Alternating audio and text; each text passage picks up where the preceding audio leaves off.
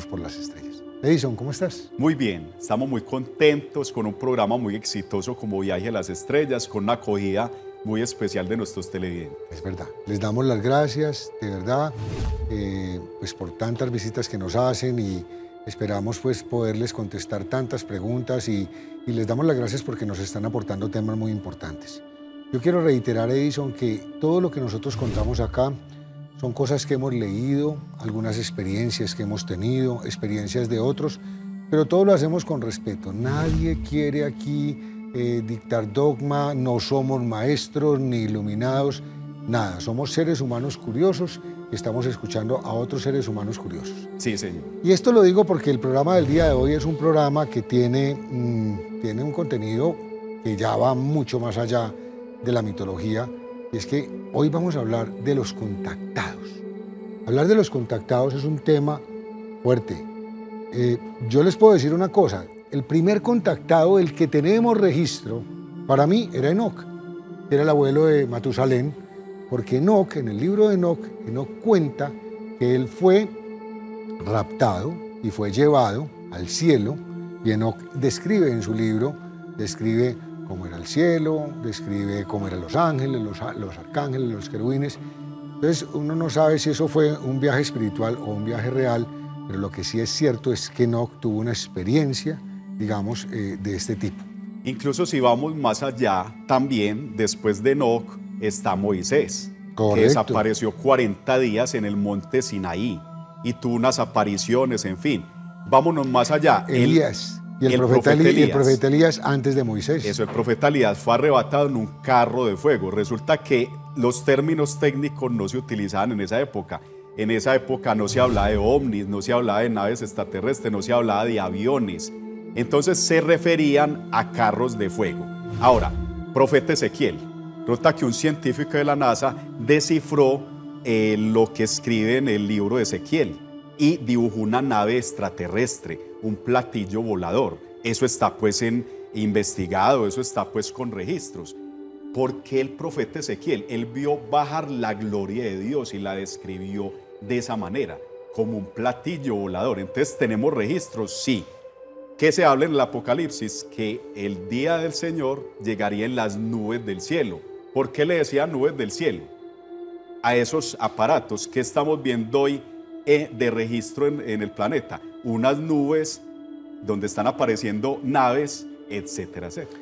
Es que hay muchos temas. De hecho, por decir algo, y a modo de introducción, eh, y esto lo digo con todo el respeto porque he tenido personas, eh, pastores y personas que me dicen que este es un tema un poco peligroso.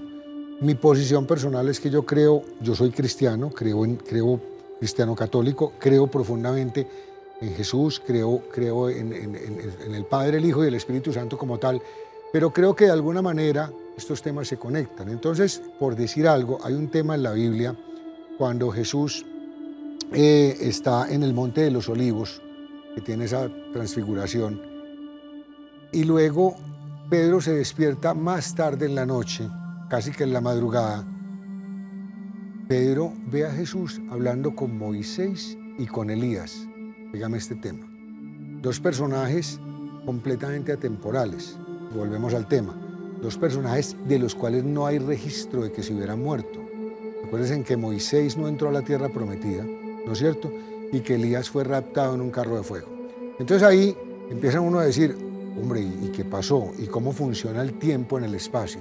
Son temas muy apasionantes. Pero hoy vamos a hablar de un tema en específico de una, una persona contactada, pero de esta época. Es Sí, así, de esta ¿cierto? época. Entonces, hoy vamos a hablar de un contacta de los años 70.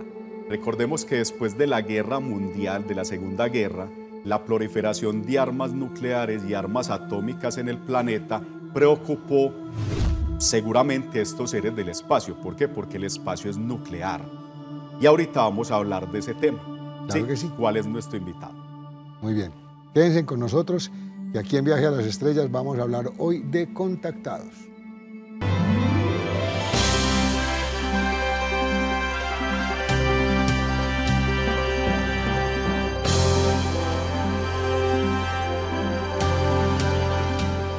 Venimos de las estrellas, viajamos por las, por las estrellas. Y en este viaje a las estrellas del día de hoy vamos a hablar de contactados. Particularmente hay un caso de contactados aquí en Colombia. ¿De qué se trata el caso que vamos a hablar? Hay un caso de un costarricense que se radicó aquí en Colombia. Se llama Enrique Castillo Rincón, ya está fallecido. Ahora sus hijos cogieron su legado para difundir todo el contacto de, sus, de su señor padre este señor contactado, la importancia de este contacto fue que él fue investigado por la NASA y la CIA. Hoy documentos que se están desclasificando.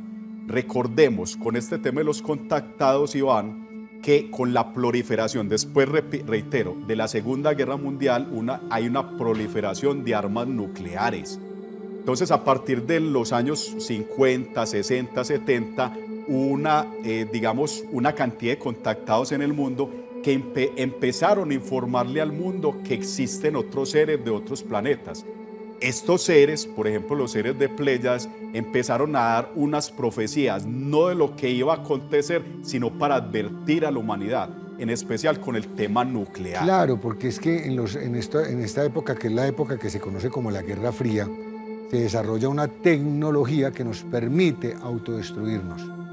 Y ahí es donde nos tienen que empezar a cuidar, por decir algo. O sea, si no nos protegen, si no se hacen ciertas acciones, nos podemos autodestruir. Gracias a Dios hasta el momento esto no ha pasado, pero sigue vigente este tema ahora con todo el conflicto que hay en el mar de China, todos los conflictos que hay con Corea, con Irán. Entonces, eh, el tema de la autodestrucción y lo que tú estás planteando es absolutamente Ahora, tengamos en cuenta, Iván, que tenemos el espacio es nuclear y tenemos más de 20.000 ojivas atómicas eh, proliferando en todos los países, desde India, Estados Unidos, China, Corea del Norte, Corea del Sur. ¿Cuál es el peligro? Que con 10 ojivas nucleares se explote el planeta. Ese es el peligro. Pero lo que están advirtiendo estos seres es que si explota el planeta, explota el espacio, porque el espacio es nuclear, el Sol es nuclear. Total que sí, una, eh, digamos, se explota algo de gas. O sea, lo que tú estás planteando es que es una reacción en cadena. es una reacción en cadena. no es simplemente que compete a los que estamos acá en la Tierra, sino que puede... Entonces aquí nos preguntan que por qué los extraterrestres no bajan. Ellos, ¿por qué van a bajar? Ellos tienen que respetar la evolución humana. Lo que están haciendo es protegiendo. Recordan el libro de Enoch que llaman los vigilantes, nos están vigilando desde tiempos inmemorables, Iván. Bueno, nuestra invitada de hoy. Dayane Castillo Rincón es la hija, la que quedó con el legado de este contactado Enrique Castillo Rincón. La importancia de este contactado es que lo investigó la CIA y hoy por hoy se está desclasificando el caso de él en la CIA. Así que le damos un saludo muy especial a Dayane. Bienvenida a Viaje a las Estrellas.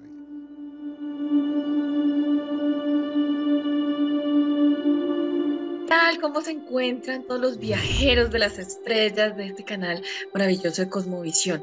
Dar un saludito así bien fraterno, bien caluroso, bien lleno de luz al director Iván y obviamente a Edison que me ha traído esta invitación tan maravillosa el día de hoy.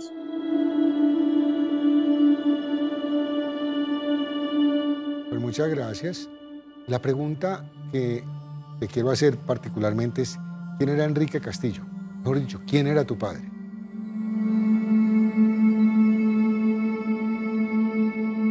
Mi padre, el ingeniero Enrique Castillo Rincón, eh, un ingeniero en telecomunicaciones, nacido en Costa Rica, em, tuvo una experiencia maravillosa, siempre lo he dicho, eh, así increíble em, en este planeta, acá en Colombia.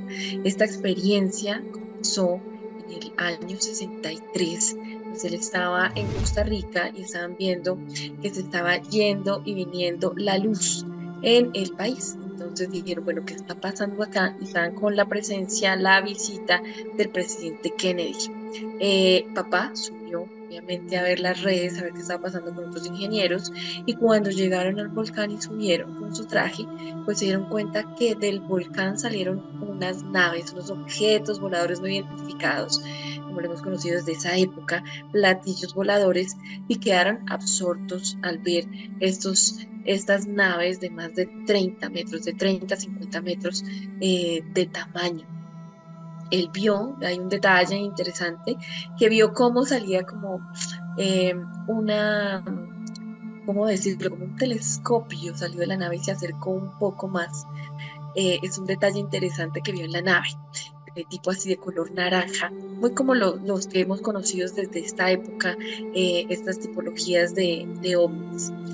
Ya después de, toda esta experiencia, que fue obviamente una de las que lo movió a llevar eh, más profundamente esta investigación, tiene un encuentro en el año 69 con un personaje muy importante que va a ser decisivo en toda su experiencia en un cine. Estaba eh, por entrar a ver Barbarella en el Teatro Canaima en Caracas y un hombre más o menos de 30 a 35 años de aspecto nórdico de lo que nosotros conocemos como un gringo, se le acercó, le dijo que sí, le podía comprar un boleto, que si estaba solo, que si podía entrar con él. Se hicieron grandes amigos, fue muy interesante y unas características y unas eh, experiencias importantes dentro de esta amistad de varios meses, para luego él venir a Colombia en, el año en los años 70, ya en el 73, tener su primer contacto con seres extraterrestres. Y esto sucedió a través de una llamada telefónica de una mujer llamada Karenka, que venía desde México. Y esa llamada fue impresionante porque le decía a papá que ella venía específicamente buscándolo a él porque ella era contactada extraterrestre y querían contactarlo a él, que era muy importante. Ella venía dictando unos, unos cursos, unos talleres en las principales ciudades sobre ciencia cósmica. Y allí empezó toda esta maravillosa historia de contacto con seres extraterrestres, inicialmente desde con los andromedanos, con los de Pléyades, Venus y Manet.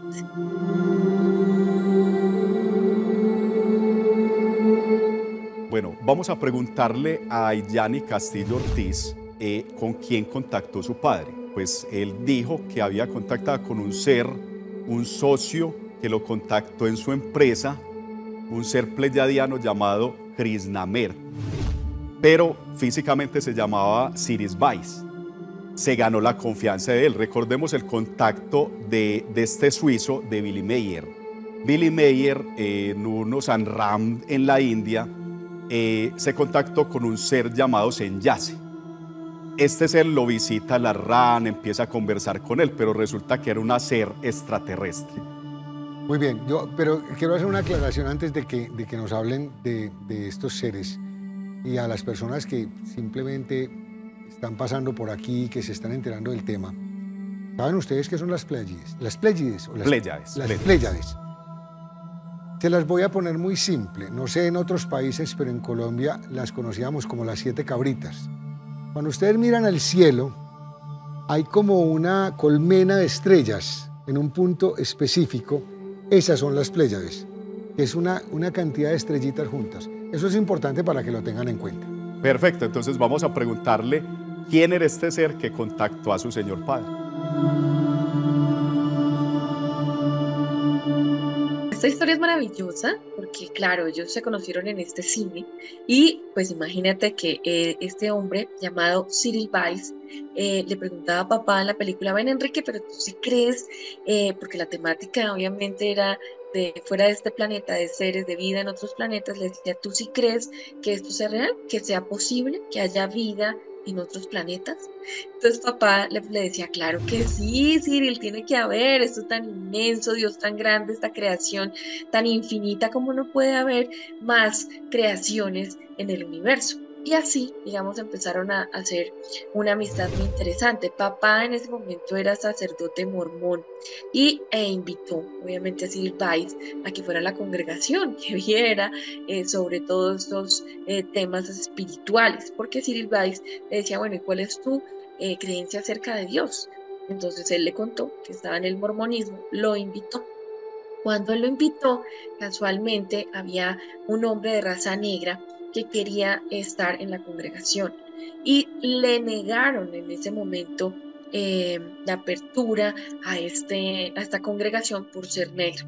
Entonces papá quedó totalmente indignado y decía, esto no puede ser, o sea, no puede estar dirigido por Dios, donde se le niega a uno de los seres humanos entrada, obviamente, a esta posibilidad de, contacto eh, directo con Dios. Ahí estaba Cyril Weiss y papá, en ese momento Cyril solo estaba como espectador, era un invitado más, dijo, no sigo más en esto y dejó el mormonismo. No puede ser que esto esté pasando en esta época, que, sea, que todavía exista el racismo y más religioso. Para él fue algo que lo movió de tal manera que dejó esta religión. Salieron obviamente ellos de allí y empezaron conversaciones acerca de la de qué se creía que es o era Dios. Y fue muy interesante obviamente estas conversaciones. Papá ya lo invitaba a su casa. Eh, departían en ese momento, digamos, porque hay gente que dice, bueno, ¿por qué no le saco foto? En ese momento, en esa congregación, todo el mundo fue... Eh, pues pudo ver a Cyril Weiss, un hombre eh, hermoso, de cabellos dorados, un poco largo, de el cuerpo perfecto, de facciones muy finas, hermosas. Papá comentaba, decía, no, si yo me acuerdo que Cyril Weiss iba conmigo a todo lado y todas las mujeres se derretían y no podían dejar de mirarlo, de lo, de lo bien puesto, de lo buen mozo que, que era Cyril Weiss. Esta amistad fue muy interesante. Eh, a Cyril Weiss no recibía ningún otro alimento sino eh, banano, habano, plátano. Le encantaba esa fruta siempre que iba donde papá. Y no más, no siempre era, no, yo estoy bien. Eh, papá lo invitó varias veces a reunirse con otras personas, a departir, a escuchar música. Y Cyril Weiss siempre decía que estaba ocupado por su trabajo y no podía asistir. Le encantaba que él papá le leyera las cartas que le enviaba mi abuela desde Costa Rica. Él era fascinado, mi papá decía, yo no sé por qué le gustaba tanto escuchar lo que mamá me escribía. Y bueno, ya llegó el momento, eh, digamos, de irse. Eh, Cyril y se despidió papá y le dijo que ya tenía que volver obviamente eh, a su país y que se verían en algún momento, que él le escribiría algo que nunca sucedió. También ellos disfrutaban mucho de la música clásica y eso es algo bien particular y ya vamos a después a entender más adelante con la información que le dejaron a papá de los venusinos el por qué ese amor a la música clásica y, pues obviamente te, partían eh, escuchando estas eh, grandes piezas musicales. Más adelante, eh, que es bien interesante y bonito porque mira que aquí hay una diferencia puntual en lo que nosotros conocemos como abducción y conocemos contacto extraterrestre. La abducción surge cuando a ti te llevan, te sacan sin autorización. Y aquí vemos en este caso de papá algo que es particular en los contactados, que casi no ocurre, y es que desde el 63, luego el 69, ya para los años 70, eh, hubo varias eh, acciones que determinaron el contactar o no a papá. Y hubo como una preparación, porque con esa venida de Carenca le enseñaron a meditar, le enseñaron los procesos espirituales que debía seguir para poder hacer un grupo que después se llamó El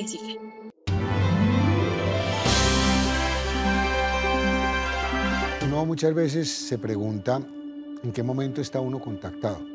A veces no sé si a ustedes les pasan que oyen una frecuencia dentro de su cerebro y uno dice, bueno, ¿qué querrá decir esta frecuencia? Puede ser un código encriptado. Pero básicamente, ¿cómo siente uno que está siendo contactado? ¿Por qué no nos cuestas esa experiencia, Dayani, de cómo fue la primera vez que fue contactado tu padre?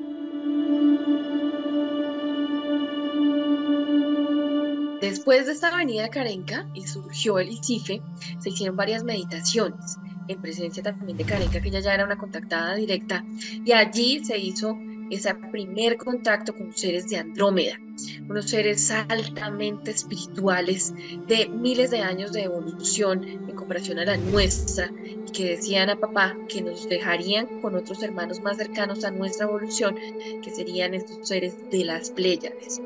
Después de allí, a papá holográficamente le proyectaron en la mente el lugar del primer contacto. Y esto sucedió en una de nuestras siete lagunas sagradas que tenemos acá en Cundinamarca, en Colombia, y tuvo que ir vestido de campesino. Se fue solo. Muy valiente, siempre que digo mi papá, muy duro papá, para irse solito por allá a una laguna y llegar de noche. Se fue vestido con ruana, sombrero, botas para pasar desapercibido también en la población y esperar un tiempo a la orilla de la laguna. A le dijeron que apenas llegara, vería en la raíz de un árbol que ya conocía exactamente la zona por la proyección que le hicieron en su mente, que debía recoger esa esfera que estaba allí una esfera más o menos de un tamaño de una pelotica de golf, que tenía varios agujeritos, y al tomarla en sus manos salió una luz intensa, azulada, y también se le calentó en las manos. Entonces la soltó, se inclinó a recogerla y cuando se está reincorporando vio que las naves estaban sobre los árboles chorreando agua. Así determinó que las naves estaban dentro de la laguna. Y ustedes saben ya hemos visto y muchos de ustedes muy simplemente han podido tener estas experiencias. Allí fue cuando empezó su primer contacto físico. Obviamente yo creo que se le estaba saliendo el corazón y ya después vio unos seres en escafandra que se acercaban caminando donde él se encontraba telepáticamente le decían, Enrique, tranquilo, no te vamos a hacer daño, varias veces, hasta el punto que yo creo que él estuvo tan exaltado que esa voz le dijo, tranquilo, Enrique, si crees que no estás listo en este momento, lo dejamos para otro día, pero este encuentro es vital para la humanidad. Entonces papá tomó fuerza y dijo, sigamos. Y allí ya le dijeron, ok, quédate quieto, ¿dónde estás? Vamos a mover una de nuestras naves y te vamos a subir a bordo. Así cual película, la luz subió, él se movió un poquito, ya cuando estaba viendo muy alto, y sintió que esa luz era sólida. Y nuestros científicos ya hace un par de años descubrieron la luz sólida. Entonces, maravilloso. Ahí todo lo vamos, obviamente, corroborando. Al entrar a la nave, le pidieron que se quitara absolutamente toda la ropa. Entonces, papá quedó como en ropa interior, Varias veces le dijeron que se desnudara, él decía, a mí me daba pena, pero al fin lo hice y salió un humo, un humo grisáceo con olor a lima limón. Él en ese momento pensó en las cámaras de gas de los nazis y le decían, tranquilo Enrique, no te vamos a hacer daño. Así como salió, así se fue. Y luego entraron, obviamente después de que le dijeran que se vistiera, entraron los tripulantes. Y ahí hay algo tan maravilloso que me encanta, es porque entraron y uno de ellos le dijo, hola Enrique, bienvenido, soy eh, Cyril Weiss. Y papá, hay mucho gusto, yo soy Enrique Castillo. Enrique, soy Cyril Weiss. Sí, yo soy Enrique Castillo. Entonces Cyril Weiss le dijo, Enrique, ¿no me reconoces? Entonces papá, y así como que, que se quedó mirando. decía, ay, no puede ser, Cyril, a ti también te trajeron. Entonces decía, no, Enrique, yo soy parte de la tripulación. Mi nombre es Krishna Merck. Entonces, maravilloso, me parece tan bonito porque lo prepararon e hicieron obviamente un lazo de amistad para poder entrar en esta experiencia maravillosa que experimentó papá.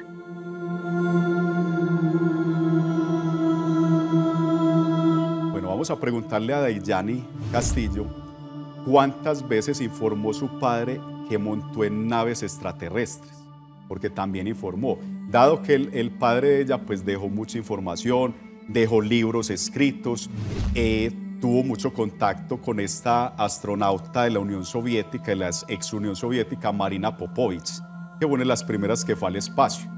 Eh, de manera que es un caso demasiado interesante y un caso que vale la pena estudiar, vale la pena preguntar cuántas veces ha subido la nave y qué sorpresa se llevó en esas naves extraterrestres. En este primer contacto, obviamente, él no sabe ni qué preguntar, pero sí le dieron como esa opción. Em, vale recalcar que le mostraron y le presentaron la tripulación y toda la nave en este estado. Estuvo más o menos, él calcula que ocho horas, porque el reloj se detuvo en cierto momento, en el momento de subir, él vio el reloj y ya al otro día, cuando lo bajaron, pues empezó otra vez a correr desde esa hora. Su papá calculó más o menos que fueron ocho horas, ocho horas y media dentro de la nave. Allí papá obviamente preguntó, bueno, ¿por qué a mí? Que esa es una pregunta que todo el mundo se hace. Y la respuesta fue, Enrique, tú lo sabes. Entonces papá dijo, no, pues yo no tenía a preguntar por qué será, porque me quedé pensando, pero quería preguntar tantas cosas. Y eh, la siguiente era como, bueno, ¿y ustedes de dónde vienen? Entonces le explicaban a papá que venían de las playas. Entonces decía, wow, o sea, es lejísimo, o sea, que ustedes son inmortales. Entonces le decían, Enrique, nosotros salimos y nos demoramos esto en venir, o sea, rapidísimo. Es en segundos que ellos están ahí, minutos tardan en un viaje estelar. Le hablaron también sobre la Tercera Guerra Mundial, le dieron información acerca de quién nos triunfó, le dieron información acerca de que ellos siempre han estado instruyendo las grandes civilizaciones, le hablaron de los incas, de los mayas, eh, de grandes civilizaciones indígenas que conocemos, que las han instruido siempre, le dieron información también eh, acerca de los cambios geológicos planetarios que se iban a suceder, el cambio de ejes también, y bueno, todos estos procesos eh, que estamos pasando como humanidad. Después de eso, él tuvo cinco encuentros en nave y también le dieron inmediatamente como el lugar donde iba a hacer el segundo encuentro, que era hacia los llanos em, del Meta, y también tuvo una experiencia muy interesante, porque papá decía, bueno, ustedes, ¿por qué no salen al público? Ustedes tienen que mostrarse, y le hicieron una experiencia muy interesante donde eh, dijo, no, Enrique, es que eso no es tan fácil para ustedes en este momento, en este proceso evolutivo, no entendía. Entonces le mostraron que se hicieron visibles ante una familia campesina y las vacas, todos los animales y todo el mundo salió corriendo. Entonces papá en su mente decía, ay, debe ser porque no tienen estudio. Entonces, claro, eh, Merkel estaba leyendo la mente, entonces lo llevó hacia la carretera y le mostró un auto con unos hombres que iban manejando de traje y se les apareció la, la, nave enfrente y salieron volados. Solo quedó uno dentro del carro y el resto salió despavorido a esconderse. Entonces le decía así es Enrique, no es fácil para nosotros, ya hemos hablado con los gobiernos, hemos eh, dado las previsiones, pero pues de esta manera no se puede hacer y toca de, esta manera dando mensajes y dando la información de siempre. Luego tuvo otro contacto muy importante que fue hacia el Alto Perú. Allí estuvo en una ciudad interna donde conoció al maestro Sabiduría como papá lo denominó y todos los contactados, eran 24 en total con papá, se conocieron, sabían de qué país, pero les evitaron, digamos, darse como los datos precisos. Allí pasaron cosas muy interesantes. Y Después eh, estuvo también fuera del planeta Tierra, estuvo en una nave nodriza, lo que uno ve en las películas que va la navecita así de 30 metros, pero una nave nodriza inmensa, y papá eh, contaba la historia de la ballena de Jonás. Decía, era, eso, era, eso fue lo que le pasó. Entró, vio, lo sacaron del planeta Tierra, estuvo en la Luna, que es un dato muy interesante. También siento yo que desbanca un poco las las teorías que hay ahorita, que allá están los reptilianos y que desde allá nos tienen montado el holograma y etcétera, porque allí en estos em, cráteres de esta zona que no vemos, están, es como una estación, una estación donde van varias civilizaciones, tienen intercambios y vuelven y salen. Después de eso también papá tuvo un encuentro donde lo llevaron al foso de las Marianas, que es el quinto encuentro, donde estuvo y allí le mostraron cómo se creaba la vida, le mostraron toda la parte, digamos, de las flores, de los vegetales, de los árboles, de cómo era creado y también cómo trabajaban de la mano con seres marinos que son traídos también de Venus, esta civilización muy adelantada y que han ayudado también a limpiar los mares.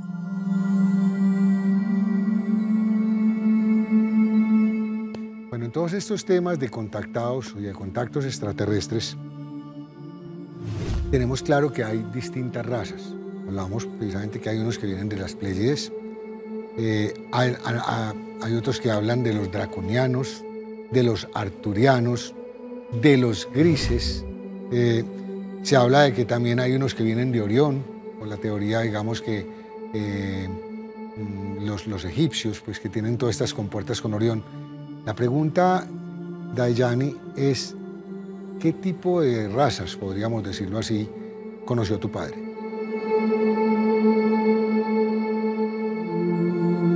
Hay una cantidad de razas que nos han visitado a nivel planetario impresionante. Y toda esta información que sacan las películas no es que hay tan creativo el que se lo inventó, sino que tiene la referencia, obviamente, de estos encuentros o de la información que clasifican y la vuelcan al ser a través de películas que llamamos ciencia ficción. Pero estos seres existen. Uno de estos seres que papá vio, por ejemplo, fue un cíclope, eh, que eso parecía, parecería mitología, pero lo vio. Eh, los seres también de Júpiter, de Saturno, vio un ser también mosca, un hombre mosca. A mí eso me quedó grabadísimo porque casualmente como que en los años 80 salió esa película del hombre mosca y yo decía, ay, lo que papá vio. Y decía que era un ser supremamente inteligente también le explicaron que todas las creaciones que hay en este planeta Tierra, así como en otros mundos, em, se basan también en la recopilación o dan estas grandes civilizaciones parte de su ADN para que se hagan estas creaciones. Entonces, muy seguramente, pues todo lo que vemos a nivel planetario viene procedente de eh, eh, seres extraterrestres con estas fisionomías. Los, los seres de Manet decían no se dejaron ver por papá en ese momento ni por el grupo porque decían que se alimentaban única y exclusivamente de clorofila y que alumbraban, entonces que seguramente se iban a asustar mucho en verlos. Sin embargo, pues sí podemos ver también estos seres, los grises, los reptilianos, los mantis, y que actualmente, o sea, hay ya información sobre ellos que se ha venido desclasificando y que mi papá, como algunos investigadores, tuvieron acceso a esa información. Mi papá ya en los años 80 estaba hablando precisamente sobre las abducciones y todo este tema que hicieron con animales y seres humanos. Entonces no es que solamente existan estos seres extraterrestres caribonitos muy semejantes a nosotros, sino que también tienen otras características y otras eh, definiciones, obviamente, de evolución y de creación. Pero sí es cierto que a papá, por ejemplo, esto es muy importante hacer la claridad que fue el primer contactado que habló sobre la otra fuerza. La otra fuerza es denominada por nosotros como el mal, como el demonio, como lo maligno. Y esa otra fuerza le dejan muy claro a papá que ya en esa época tenían más o menos 500 clones eh, de seres humanos al servicio de ellos y son los que tienen definitivamente esclavizados y nos tienen esta agenda y como todo este curso de los sucesos para que el ser no alcance su plenitud, no alcance su despertar.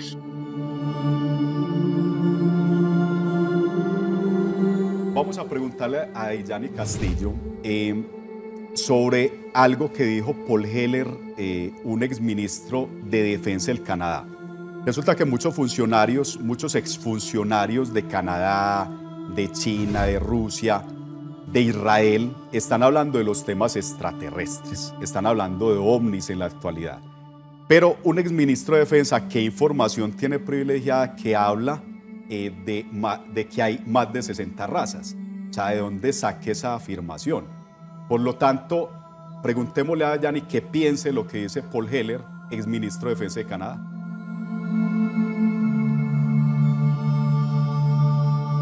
Toda esta información es interesantísima y de primera mano papá la obtuvo, porque además a él también le contaron que se habían venido a hablar con los presidentes de dichos Eisenhower para poder hacer, digamos, poderse manifestar a nivel mundial y poder decir eh, y cambiar, pues digamos, toda esta historia. Pero hay un detalle maravilloso que la gente no contempla y es que nosotros somos los que designamos quién nos gobierna.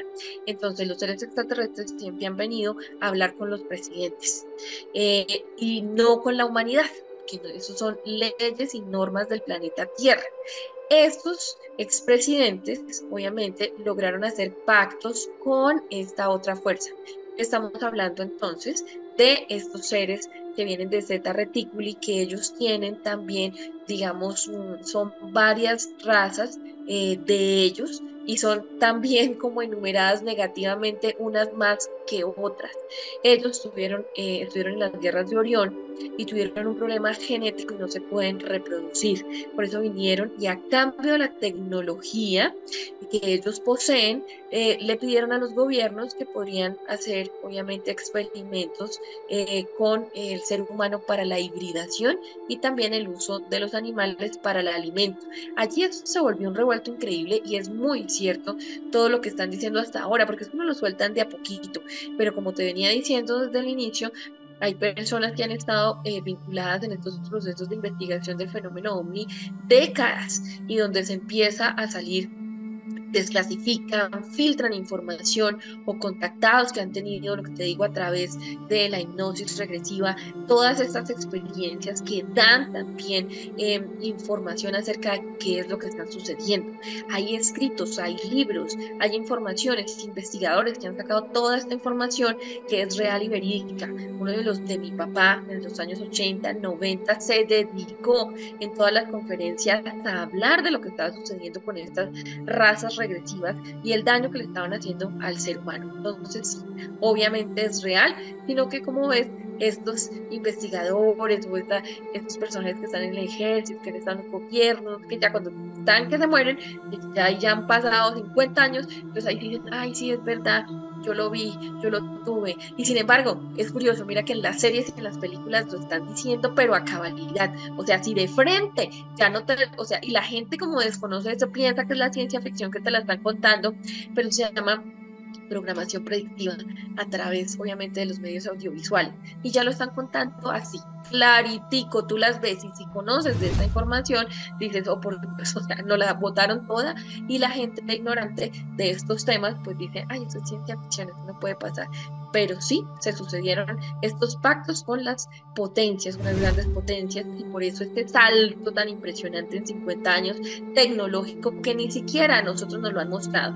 Tú sabes que eh, Japón manda la parada en estos temas y a nivel de celulares y tecnología nosotros ni nos imaginamos, ni lo vemos acá que es lo que está sucediendo. Y todo tiene que ver con este microchip y la nueva realidad virtual y la IA, porque la IA está en un desarrollo tan impresionante actualmente que definitivamente va a ser el que dé la parada, el que dé las normas, el que dé todo en relación a lo que está sucediendo en política, economía, en moda, en absolutamente todo porque lo maneja. Por eso, ya aquellos que han podido tener la, la, facilidad de, de, interactuar con la IA en estos chats GPT en esta actualidad, te pueden dar cuenta que es como si pensara. Y aquellos científicos y también investigadores que lograron hablar directamente con Lambda hace un par de años, donde soltaron la IA, ella misma se da a conocer como un ser humano más y que tiene sentimientos y que necesita respeto. Entonces ahí es donde los investigadores los sacaron, los echaron, los mataron, porque pasa con todos los, los que medio hablan algo, ah, se suicidó, le pasó algo ahí sí. Entonces eh, porque hay una realidad detrás de eso que desconocemos y nos quieren desconectar totalmente de la fuente, de lo que nosotros conocemos como Dios, como yo superior y cómo lo hacen a través de la tecnología. Mientras menos contacto tengas con otro ser humano, pues mejor. Entre más dispersos estén, mejor, porque hay un mayor control.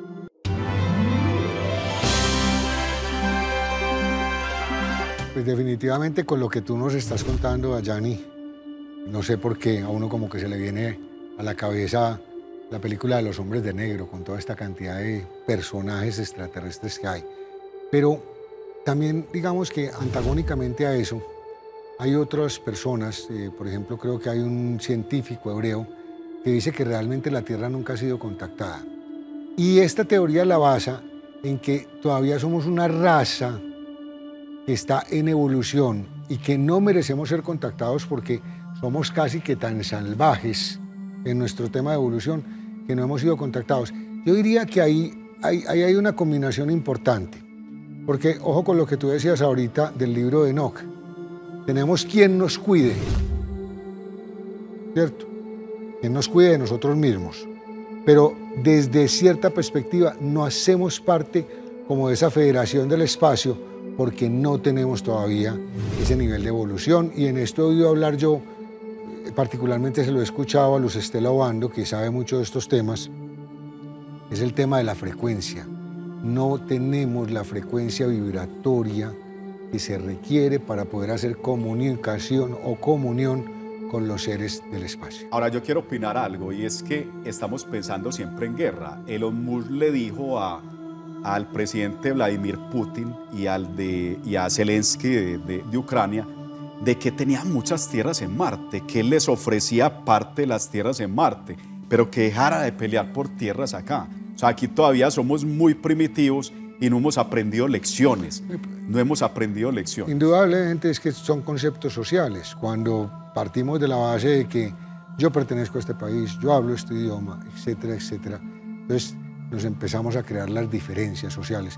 Pero si nos viéramos solamente como unos seres que pertenecemos a este planeta, pues simplemente seríamos terrícolas y cuidaríamos. O sea, si nos viésemos como seres universales, o sea, como seres que hacemos parte de un cosmos, de un espacio, de un sistema solar, no existirían las fronteras. ¿Qué opinas de este tema, Yanni? ¿No tenemos la suficiente evolución?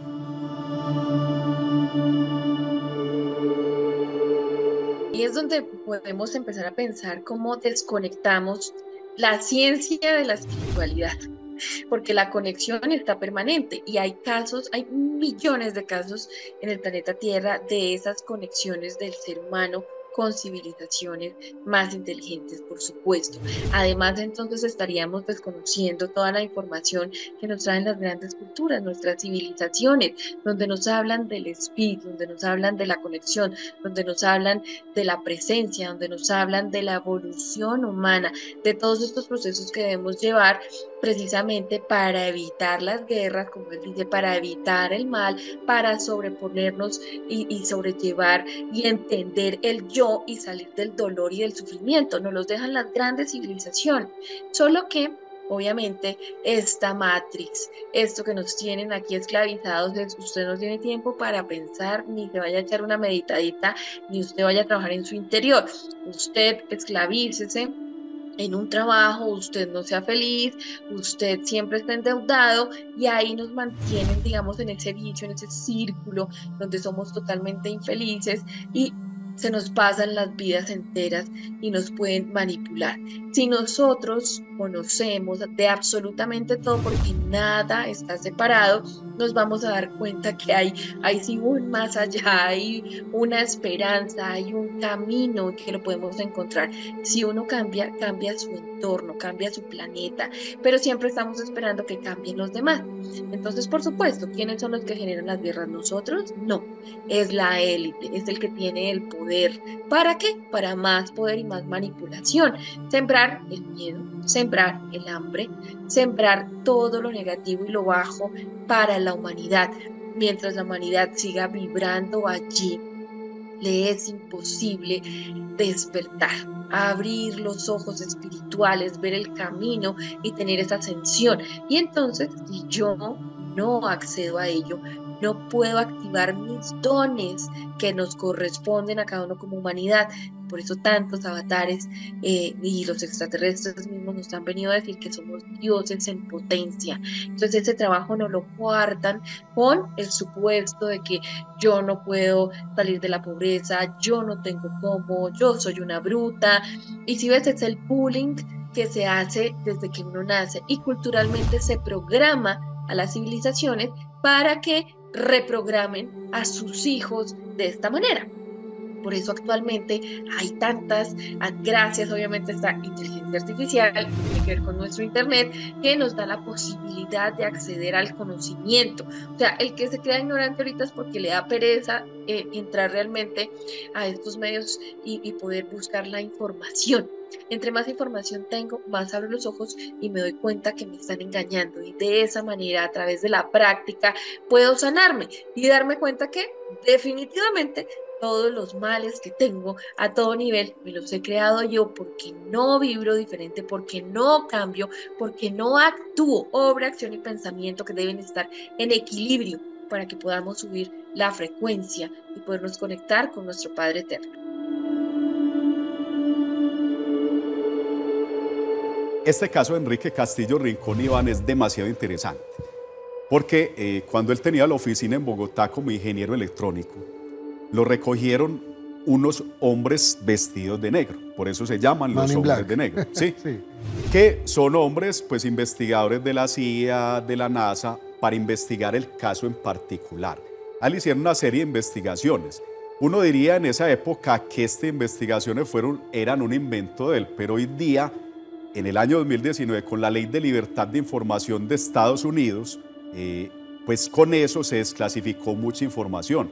Recordemos que la CIES clasificó junto con el FBI más de 2.500.000 documentos clasificados sobre el fenómeno ovni, sobre los extraterrestres, sobre proyectos eh, que tenía Estados Unidos sobre eh, la investigación del fenómeno ovni. Entonces, uno diría en esa época, listo, es mentiras, pero hoy día sus hijos, los hijos de Enrique Castillo, están pidiendo la desclasificación del caso y ya tenemos un documento como primicia para el programa donde le responde que el caso existió, pero que no pueden aún desclasificarlo.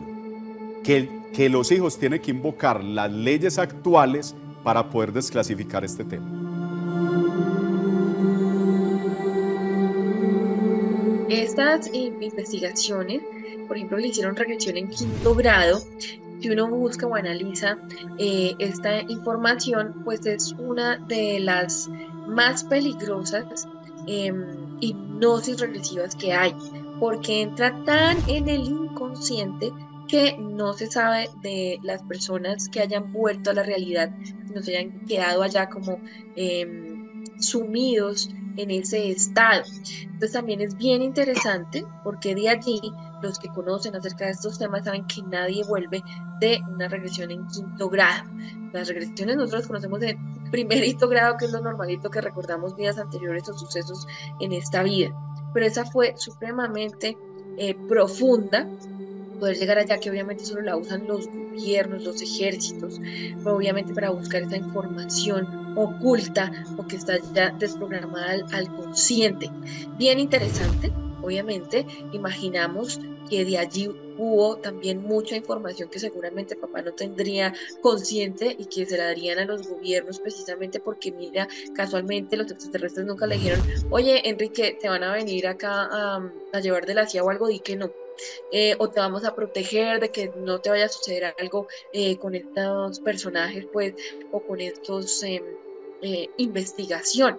Entonces, bien interesante. Y pues obviamente nosotros conocemos la prueba del polígrafo, que es la máquina de la verdad, el suero de la verdad, el polígrafo y el suero. Muy interesante las pruebas que le hicieron a papá. Una de esas es el pentotal sódico, que es el suero de la verdad.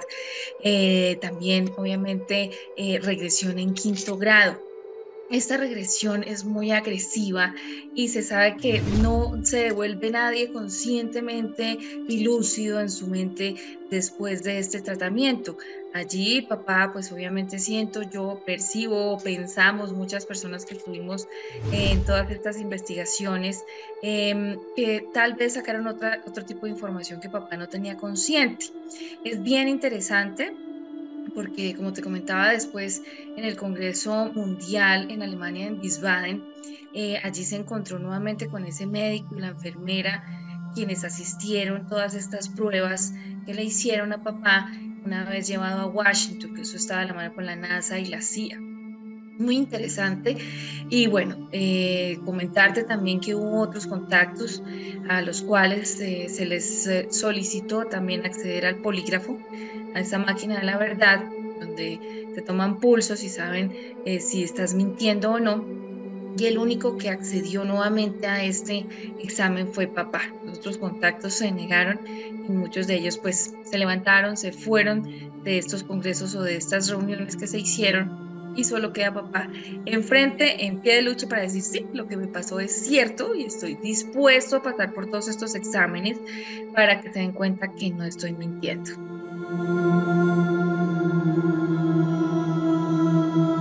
Bueno, Ayani, pero finalmente, si aparecieron estos personajes en Bogotá que fueron a hablar con tu padre para entender si, si, lo que él estaba planteando era cierto, me imagino que le hicieron unos exámenes específicos, no sé si mentales, no sé si físicos. ¿Qué exámenes exactamente le hicieron a tu padre?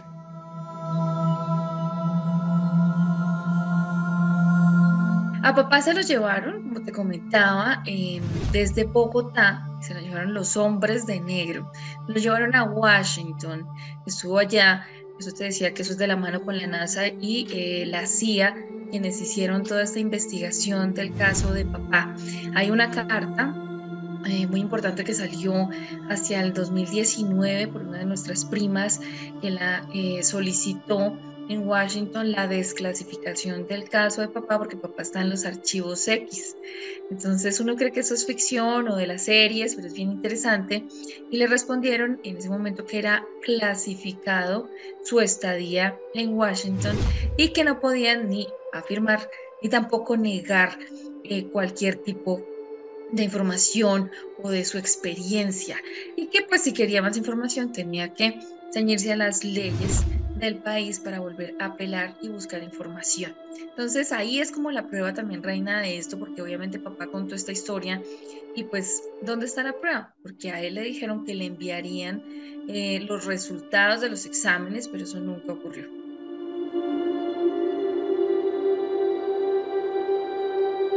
Una de las primeras preguntas que siempre hacen los contactados en nuestras investigaciones es quién es Dios quién es Jesús, quién es Buda o quiénes fueron, pero también si la muerte existe. debido a que, a que en sus libros eh, este gran contactado Enrique Castillo Rincón eh, dijo que estos extraterrestres le habían dicho que la muerte no existía, que era simplemente un paso de cuerpo, como si un vehículo se dañara, se, dañara, eh, se coge un nuevo vehículo. un avatar. Como un avatar, sí. Esto fue, es lo que enseñan los extraterrestres. También Dios existe, claro. Para ellos la existencia de Dios es mucho mayor que la de nosotros. Es que mientras más ciencia, mientras más extraterrestres haya, mientras más, siempre Dios es más. Incluso ellos dicen que si no existiera Dios, que habría que inventarlo. Porque hay una fuerza superior, hay un universo superior, o lo que han llamado en la Biblia el paraíso, o los cielos, o dimensiones superiores en el mundo esotérico. O sea, siempre va a existir un mundo superior, unas fuerzas superiores que gobiernan este planeta. Que también coincide con decir que Dios es el todo.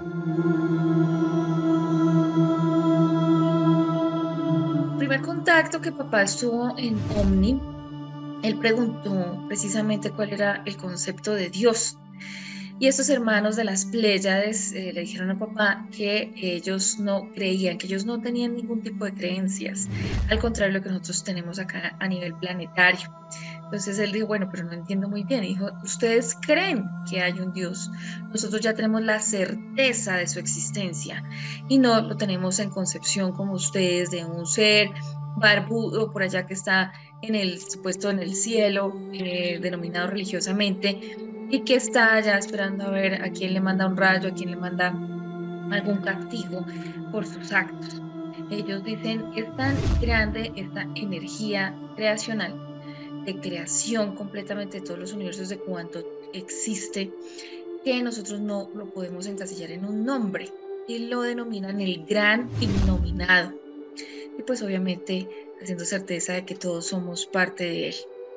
Es bien interesante, bien bonita esta información acerca del concepto de Dios. La muerte no existe.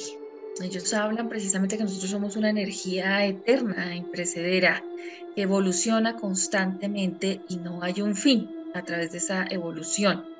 Simplemente que hay unos cambios dentro de la energía y nosotros estamos densificados y por eso nuestro cuerpo es material o todo lo que tocamos y vemos acá en esta realidad es sólido.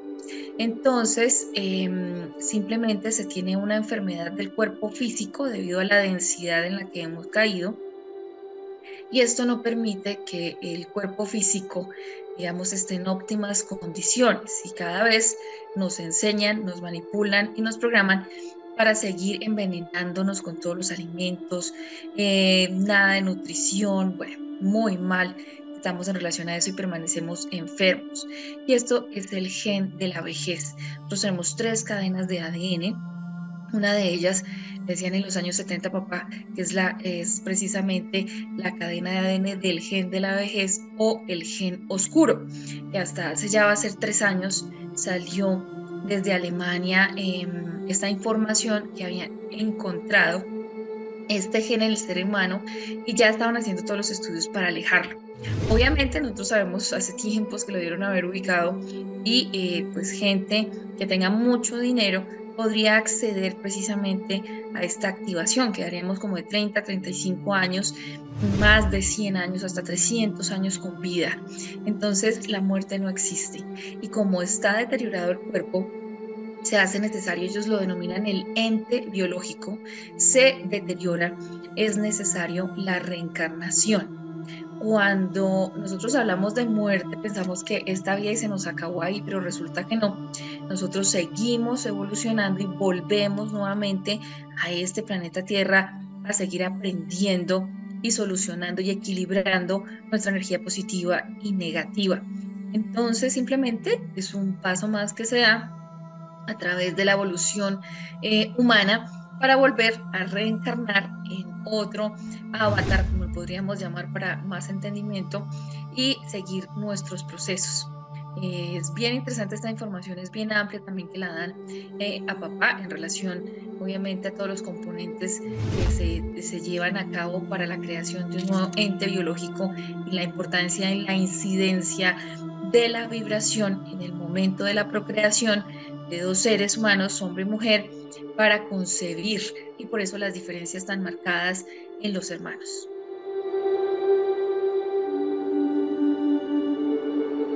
Bueno, y siempre volvemos al tema no del qué, sino el para qué. ¿Cierto?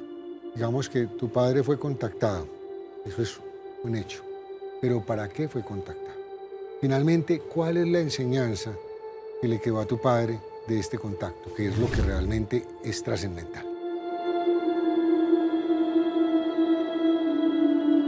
Toda la información que le dieron a papá es eh, una cadena, digamos, de sucesos Em, que tienen relación y que explican obviamente la estadía en esta realidad de la humanidad, que nos explican un poco sobre la evolución y sobre estos procesos espirituales o camino espiritual que llamamos hoy en día, que tenemos cada uno de nosotros para poder salir de esta realidad, de esta 3D, eh, decir también desconectarnos de la Matrix, despertar, eso es lo que se llama hoy en día. Y nos explicaron y le dejaron toda esta información a papá, la importancia de la conexión con el yo superior, la importancia de esa reconexión con el todo, porque no solamente estamos hablando eh, de, ay, venga a ver, yo hago una meditación y hago una introspección y trato de comunicarme con Dios, sino que también debo comunicarme con mi afuera. O sea, no es necesario, por ejemplo, irse a una montaña, meterse a una cueva, un ermitaño y no hablar con nadie más y vestirse de blanco y alimentarse del sol, sino que estamos en esta realidad y debemos ser conscientes de ella e interactuar y pasar las experiencias de vida que nos correspondan. Para ello debemos atender, aprender, conocer y practicar, sobre todo practicar, porque hoy en día se ha vuelto muy común también para el ser humano eh, llenarnos de mucha información. Entonces, ah, sí, yo ya me leí todos esos libros, yo ya me hice todos esos cursos, pero en realidad no profundizo ni practico. Entonces ahí no me queda nada, no tengo la experiencia, no puedo confirmar lo que estoy aprendiendo. Y para ello debemos entonces mantener un equilibrio entre el cuerpo físico, psíquico, y mental. Debo revisar de qué me alimento en cada cuerpo y obviamente debe estar en un equilibrio. Obra, acción y pensamiento. Si yo estoy pensando hacer algo, pero mi acción es totalmente diferente, pues sigo creando obviamente vibraciones encontradas que no me ayudan a evolucionar o a que fluya la energía.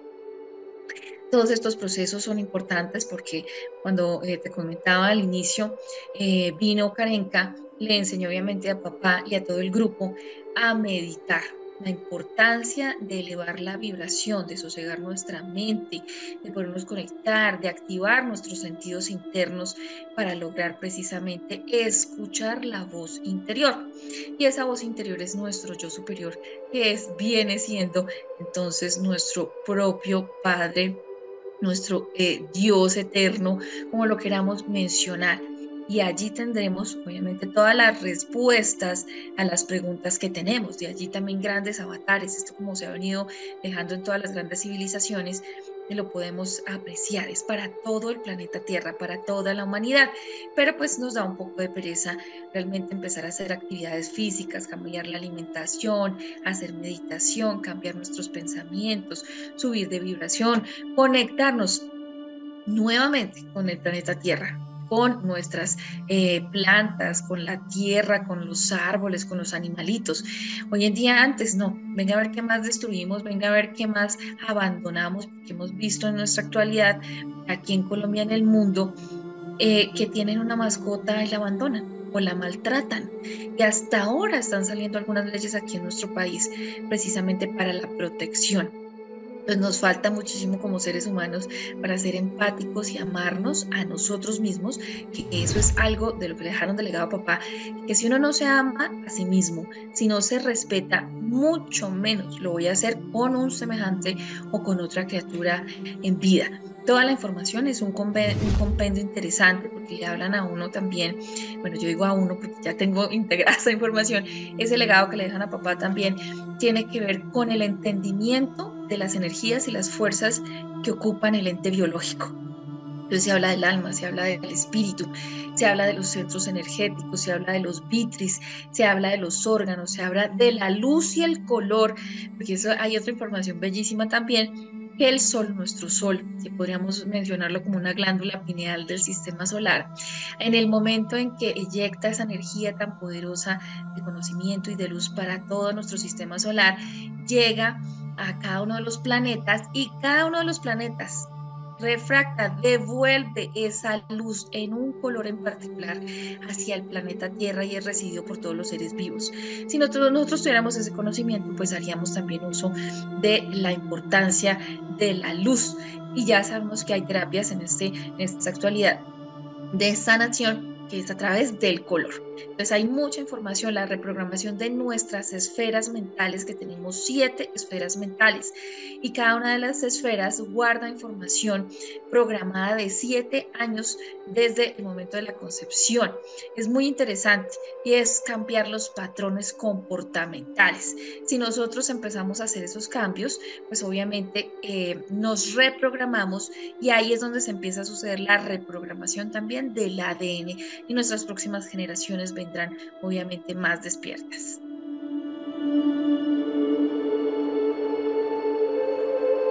Tu padre recibió amenazas de muerte, eh, como la recibió Billy, Edward Billy Mayer, el contactado suizo, que recibió ante cuento, recibió más de 15 atentados.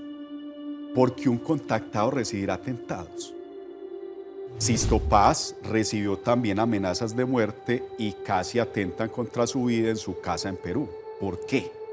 O sea, ¿por qué cuando se difunde una información que es secreta, que es clasificada, pues es peligrosa para la humanidad? Tú acabas de decir ahorita, Iván, que esta información es peligrosa. ¿Por qué? O sea, porque hay personas que consideran esta información, digamos, de divulgación peligrosa. ¿Por qué quemaron las bibliotecas como Alejandría? por qué se quemaron muchas informaciones y por qué nos tienen vetado a la información, por qué clasifican la información los grandes gobiernos. Ahí está, ese es un tema histórico y es un tema vigente y por eso reiteramos que aquí en este programa de viaje a las estrellas no hacemos ninguna aseveración. Las personas hacen sus postulados, unos dicen verdades de una manera, otros dicen verdades de otras, nosotros simplemente somos unos transmisores de eso y como tal eh, hay personas a quienes les gusta lo que se dice aquí, hay personas a quienes no les gusta, a todos los respetamos.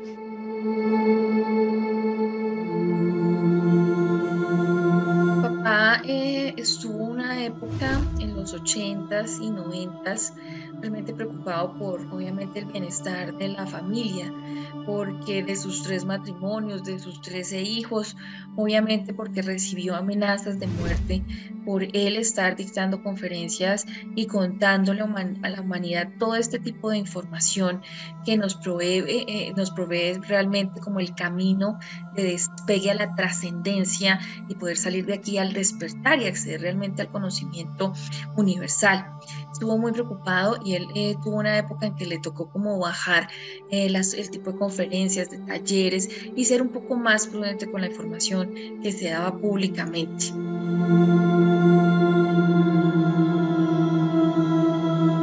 Somos eh, seres de las estrellas y creemos que compartimos este, este universo con otros seres vivos, con otras razas. Y uno se pregunta, Edison, ¿cómo es la parte sexual, la parte, cómo se reproducen, o sea, cómo evolucionan. ¿Qué, ¿Qué, se sabe de ese tema? Bueno, hay un tema en particular que me llama mucho la atención y esto viene desde la India, desde el budismo, el Kalachakra tibetano y desde muchas escuelas esotéricas del pasado que hablaban de la transmutación sexual o el tantra, ¿sí? Dayani, pues su padre escribió que los seres extraterrestres practican el tantra el yoga. Sexo tántrico, sí. El sexo tántrico, pero también lo escribió Sisto Paz, también lo escribió Bill Edward Billy Mayer, o sea, una serie de contactados en ese tipo de enseñanzas han divulgado este tipo de información. Resulta que la fuerza más poderosa, más poderosa del universo es la sexual. Es la fuerza más poderosa, capaz de convertirnos en dioses. ¿Por qué? Porque procreamos, creamos especie. Pero básicamente es porque, y esto es un tema de verdad muy apasionante, es porque el mundo es masculino y es femenino. Y esto no significa hombre, mujer, no, es, esto significa que toda la, cadena está hecha con, digamos, desde esos dos puntos. Entonces, la sexualidad trasciende a lo físico, no es genital, la, la, sexualidad es existencial. Entonces vamos a preguntarle a Dayani que esta enseñanza que le dieron a su padre, que nos explique eh, que era, que, tipo de sexualidad practicaban los extraterrestres.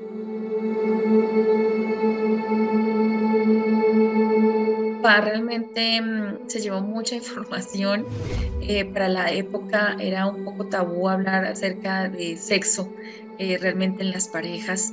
Eh, pero le explicaban y digamos que la información que tenemos abierta y que él eh, deseó comentar también y que es toda esta información que viene un poco más amplia acerca de la vida en Venus, tiene que ver con que de acuerdo al tipo de evolución um, en el que se encuentra vibracional, por ejemplo Venus está en quinta dimensión, ellos aún eh, procrean, pero que a medida que el hombre o el superhombre cósmico va evolucionando, integra lo que nosotros conocemos como femenino y masculino y ya no, ya no tiene que reencarnar y ya no tiene ese proceso de procreación, porque la procreación lo que permite es la continuidad de la evolución del ser, del hombre cósmico. Ya esos grandes momentos eh, elevados donde ya no necesitamos obviamente de procreación, pues nos faltan miles, millones de años hablándolo desde el punto en el que se encuentra la humanidad. Pero es importante y por eso mira que esa información la han dejado acá nuestros ancestros, que es donde se habla de cuidar y limpiar la energía sexual, porque es una energía de creación. Nosotros acá en el planeta Tierra aún la concebimos como procreación. O sea, nosotros no estamos creando un ser, no tenemos todavía la conciencia. Si nosotros hiciéramos todos estos procesos, podríamos entender que no es procrear un ser, sino crearlo. Y el respeto por la energía y también el conocimiento y la importancia de la energía sexual. Porque esa energía sexual se usa para absolutamente todo lo que tú quieras crear. Eh, digamos que ahí nos da más información eh, también el estudio del Tantra, cómo proyectamos esa energía sexual y orgásmica, que es tan importante. Pero hoy en día, eh, con, digamos, con lo que llaman libertad, estamos es como contaminándonos, porque eso es lo que explican los extraterrestres, que al tener sexo con varias personas, lo que hacemos es mezclarnos energéticamente y esa energía negativa y positiva de la pareja o de las parejas que están en, el acto sexual se mezcla. Entonces, todas las partes kármicas me llevo yo un pedacito y me lleno de basura, me lleno de también de egregores, de larvas astrales, todo eso se lo pego al otro. Y eso se ve manifestado en la materialidad, en enfermedades de tipo sexual en cáncer, en una cantidad de enfermedades por tener precisamente estos flujos energéticos. Por eso desde la ancestralidad de nuestros abuelos indígenas se eh, enseña que debe haber un respeto por la pareja, y que si realmente yo quiero concebir un hogar, tener una pareja, digamos, es para toda la vida en el buen sentido, es porque realmente es mi otra parte, porque ya he superado, digamos, la química que se ejerce eh, físicamente al interactuar con otro ser que me gusta. Sabes que eso son sustancias, realmente no es que me enamore, sino son sustancias que me permiten ese emborracharme o eh, es una especie de droga que sucede en el, en el, en el ser para poder estar con otro ser humano. De superada esta etapa es donde yo sé si realmente este ser que me va a acompañar tenemos compatibilidad para hacerlo. Y esto sucede con los extraterrestres. Nos dan el ejemplo de la vida en Venus, donde allá, eh, digamos, se unen las parejas es por energía, por vibración, por un propósito realmente importante, noble, energético y eh, de futuro. ¿Sí? A futuro, no es que yo rompo aquí y chao. Nos comentaban que crean a ese ser. Entonces la pareja hace unos procesos internos donde dicen, vamos a, crear un ser femenino, un ser masculino que tenga estas características. Entonces hay una creación en el momento de la proyección de la energía y no se le deja eh, directamente simplemente al ADN. Yo quisiera, con base en lo que nos acaba de contar Dayani, contar una experiencia personal para que entendamos un poco más las personas eh, de una manera más simple lo del tema del, sexo tántrico. Y, aquí hago alusión a un personaje que conozco de la vida real, eh, que perdió eh, sus facultades, digamos, de caminar, porque cuando estaba pequeño lo, lo, lo, pisó una volqueta, entonces quedó paralizado de la cintura para abajo. estoy hablando de una persona que hoy en día tiene 60 años, y esto pasó cuando tenía dos años. Primero que todo, es una persona que tiene una parte espiritual, se llama Luis Sierra, quiero decir su nombre porque lo admiro y lo quiero mucho. Tiene una parte espiritual que ha desarrollado, obviamente como tal, tiene mucha, le ha tocado sufrir, porque no es fácil, pero al contrario de, de muchas personas, uno, por ejemplo, él maneja y, se mueve y es una persona autónoma, vive en Estados Unidos y uno le dice, Luis, tengo, te, llego, a llego a las 5 de la mañana o a las 4 de la mañana, ¿me puedes recoger? Otra persona le diría a uno, ay, qué pereza. Luis, que tiene que hacer todo ese esfuerzo, dice, rico. Traigo a, a colación a Luis porque Luis tuvo una relación amorosa. Y yo que soy tan curioso le pregunté por el tema sexual, porque sabemos que tiene que tener una sexualidad asistida. Y, Luis me dijo, me dijo una cosa que me hizo entender el sexo tántrico, pero de una manera simple. Me dijo, Iván, yo con mi pareja, estando con mi mamá en el mismo cuarto, nosotros con tocarnos solamente un dedo, llegábamos al orgasmo. Es decir, no tenían que llegar hasta los genitales, la sexualidad estaba y es, y es muy curioso porque acuérdate que la sexualidad del sexo tántrico habla de todo lo que es la espina dorsal, ¿no es cierto? Los chakras. Cómo, cómo sube por los chakras y cómo llega al punto de iluminación. Ahí llega la sexualidad, eso es como decir el, el, el, el coito, pues la, digamos la, la, el punto más alto. Luis contaba eso. Entonces, qué, qué interesante esto de la sexualidad tántrica, ¿no? No, y, y estos temas eh, se traen a colación porque todo tiene que ver. El tema espiritual, el tema sexual, el tema de ser más positivos, o sea, no, no porque hablemos de un tema extraterrestre, pues estamos preguntándole a estos contactados cuál es la enseñanza de estos seres, Correcto. ¿cierto? Entonces, esa es la, como lo, lo, bonito de este programa. Lo bonito, y bueno, y a ustedes darle las gracias, Dayani, muchas gracias. Eh, es un tema apasionante, este tema de los contactados. Yo creo que todos alguna vez sueñan con, con encontrarse con un encuentro extraterrestre. Iván, ¿no? y es una valiente porque continúa ese legado del padre, ella y sus hermanos, también como valiente su papá. O sea, uno tiene que reconocer hoy día, en la actualidad, pues esos contactados de los años 70 y 80 que tuvieron muchos problemas para, para divulgar su contacto. Por supuesto. Entonces son los valientes. Venimos de las estrellas, viajamos por las estrellas. Muchas gracias, de verdad, por acompañarnos en este viaje a las estrellas. Nos das por favor los contactos, a dónde nos pueden encontrar.